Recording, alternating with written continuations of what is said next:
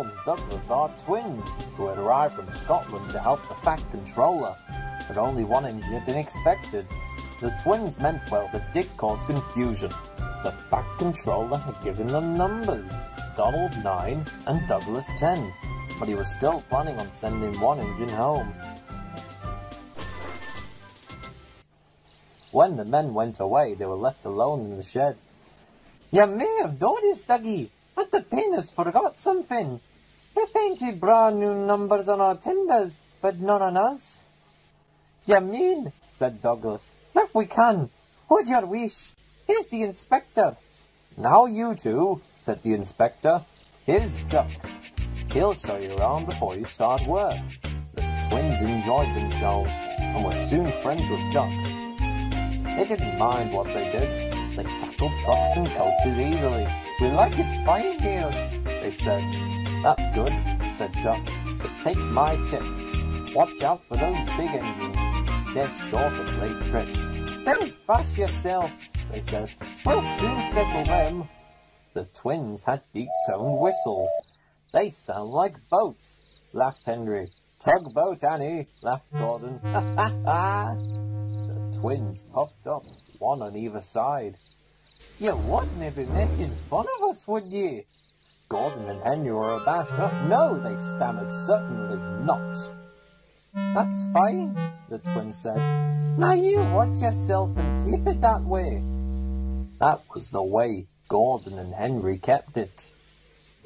Every day in the middle of the afternoon, Gordon rushes in with the express. And it's full of people from all around the island. Engines have to remember to shut the special coach onto the carriage siding for Thomas to collect sometime later. Thomas is very proud of his special coach. One afternoon, while Donald waited to take a goods train, Douglas helped Duck in the yard. As Duck had to arrange Donald's train, Douglas offered to take away Gordon's coaches. Douglas was enjoying himself until an awful thought struck him.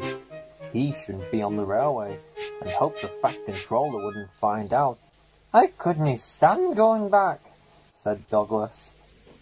He wasn't paying attention and forgot to shunt the special coach to the platform. He shunted it along with the others and went along to join Donald at the water tower. Soon Thomas came in fussing. Where's my coach? Coach?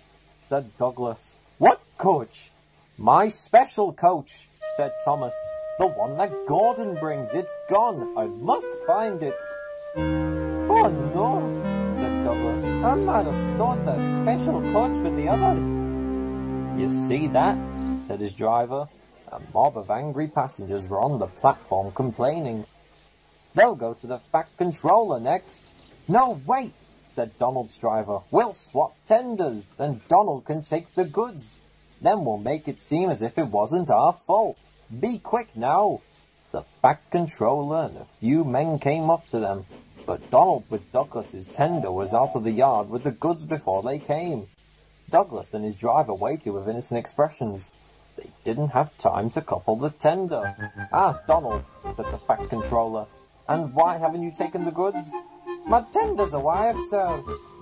The driver showed him the tender still uncoupled. I see, said the Fat Controller. Some defect, no doubt. And why did Douglas leave so quickly? Maybe he saw you coming and thought he was late, sir. The back Controller turned to the passengers. Here, gentlemen, are the facts. Douglas had been shunting in the yard.